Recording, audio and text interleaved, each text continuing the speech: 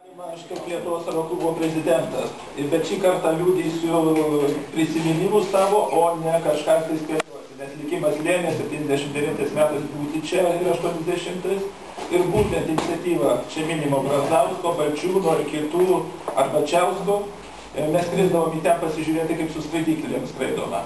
Tai būtent tie žmonės tada jau rodė, aš puikiai prisimenu šitą šlaidą, rodė, kad va aš čia buvau tempiamas iš šitos vietos, o aš iš šitos.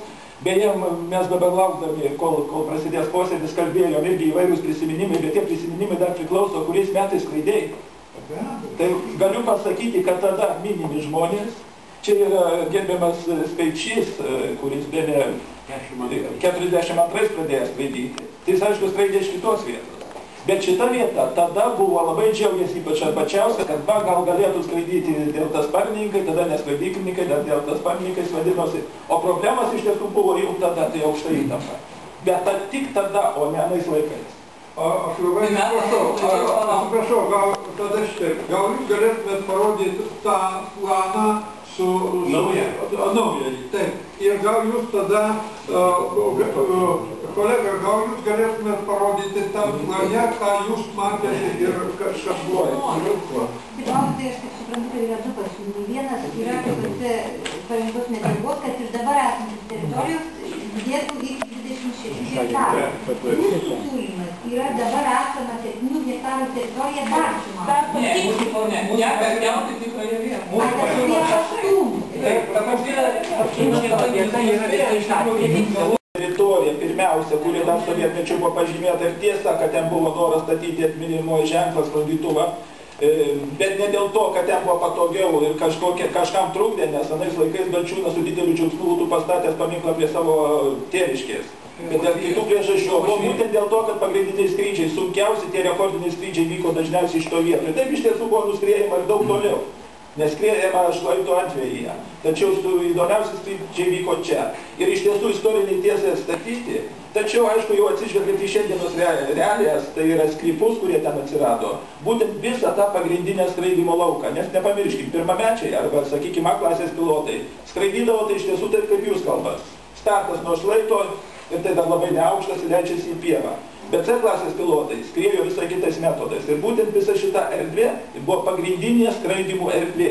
O be abejo nuskridavo ir toliau. Ir bet kulautų apsaugos ne kartą. Ar jūs norite skraidyti toliau tada? Aš atsiprašau, aš jau karjerą skraidytojo baigęs. Ne, Kaip tik tai tarptautinės klasės, C klasės aš pilotai. jūs gerbiu. Aš savo Vis titulą tik nevardinu. tai, ar aš supratau teisingai, Lietuvos aeroklubo nuomonė reikėtų palikti Situaciją. Palikti seną kraštą, toks koks yra, ir pratesti ten, kur būtent tos pievos buvo, kur leisdavosi. Beje, mes ten leisdavome 79, kai atskrisdavom, neskrisdavom ir su lėktuvais. Galima planą kažkaip. Paaiškinkit, kaip jo, kaip konkrečiai, tai reikėtų įduoti visus pasiūlymus.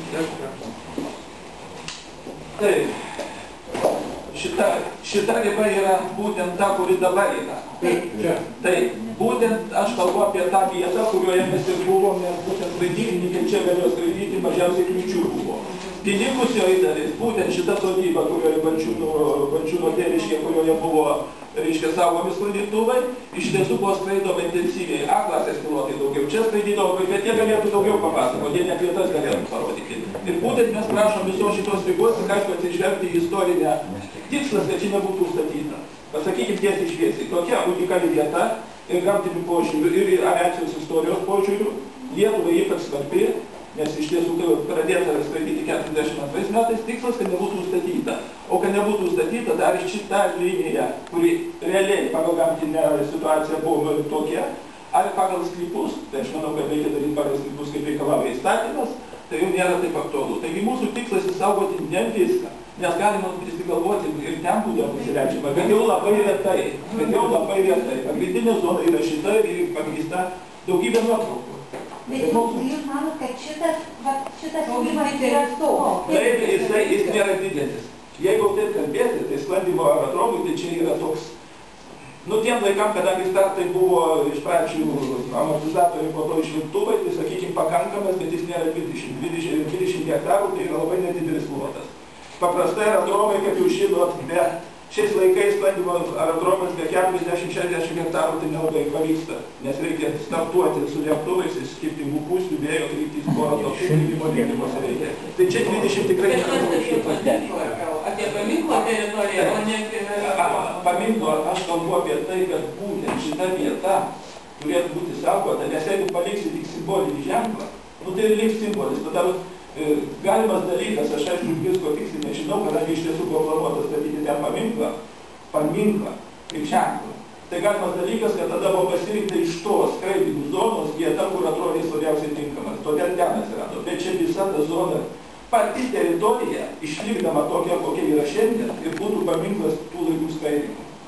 Ir jinai išliks, nes ant šlaito statyti negalima, nes Nu, šlaitas tai, saugos tai, tai tada zona. ne- nelabai suprantama, kokia jūs šią istoriją tiesą bandot atstatyti. Tai tu tada tiesą atstatome. Oi, ta prasme, aš gyvas liudininkas nebūtas.